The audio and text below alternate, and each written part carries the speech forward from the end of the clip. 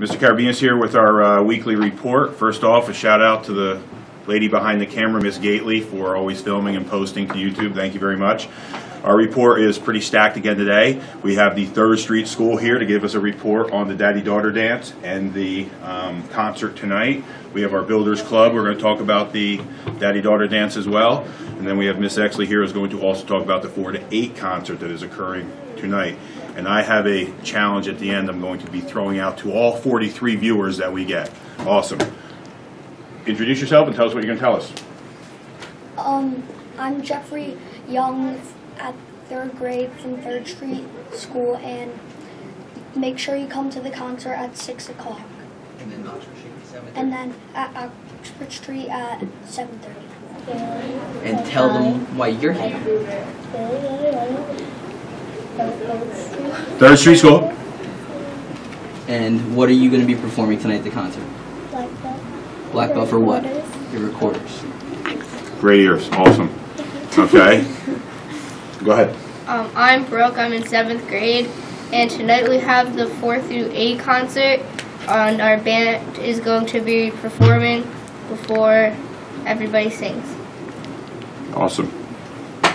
My name is Sierra and I'm um, in third grade and tonight's daddy daughter tomorrow's daddy daughter dance is at six o'clock.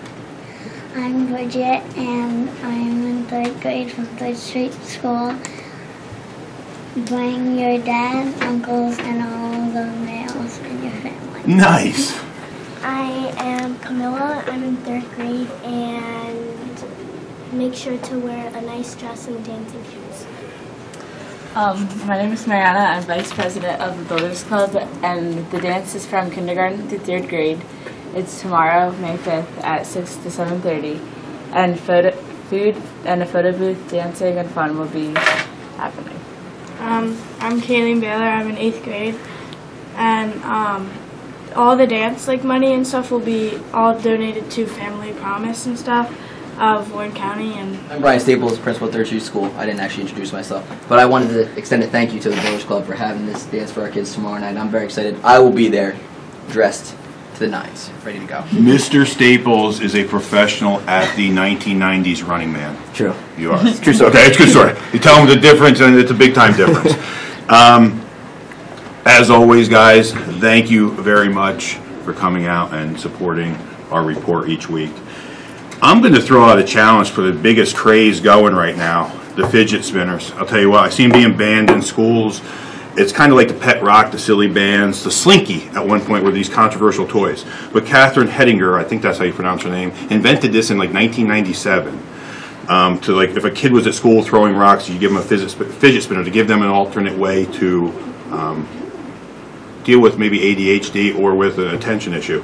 And now schools are banning them. Here at Belvidere, this is my personal stance. We support having them in school. It's kind of like a cell phone. It's a teacher's discretion how to put them and put them away. But I'm going to throw a challenge out there to all 43 viewers.